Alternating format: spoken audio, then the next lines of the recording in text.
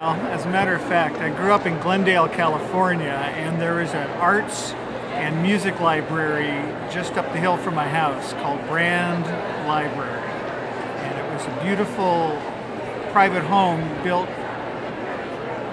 with a Moorish influence, and it had become this fantastic library. And it was my consolation all the time I was in high school. I would uh, head up there and read books on art and artists and check out records, and that's where I got my entire liberal education, which meant a lot in a stultifying place like Glendale. So I, I credit that particular library with providing me with something more than consolation and inspiration. It really gave me a You know what, my friend? And I view of a wider world outside the tiny world oh that my family inhabited. And, it was a lifesaver. I can't say enough about it. It'll be coming out in it. Well, uh, Top, you've got a car. we uh, live near one of those beautiful Carnegie designed libraries. And my wife and I go down there regularly. We, uh, I rent, check out books on tape to listen to while I work. I listen to a lot of recorded stuff while I'm working. And we ch- check out videos and things to watch. And of course, we check out books.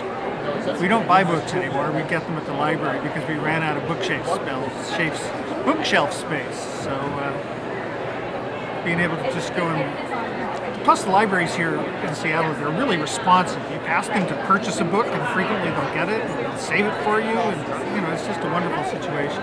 Well, uh, it is an issue here. We've had library closures that have that have been shocking, frankly, because you think of libraries as being sacrosanct. And I, you know, I'm from a time when public schools were strong and good, and libraries were wonderful and quiet. And uh, I, uh, I don't know what happened to change that, but I, I wish the, the sort of uh, I don't know what to think of it. The pro civics attitude that used to make people regard libraries as indispensable would come back. It always backfires, doesn't it? You, could, you can't get better publicity for a book than banning it. And I think everybody, history always shows that people try to ban books are misguided zealots at best. They always, they're always shown to be wrong after the passage of time. Always. There's never a book banning that, that was came to be thought of as a good thing by reasonable people. So, uh, I don't know, as long as the fools want to keep making sure those books succeed, they got to keep trying to ban them. Well, my current project is a, what they call a graphic novel now. It's just a big, long comic book.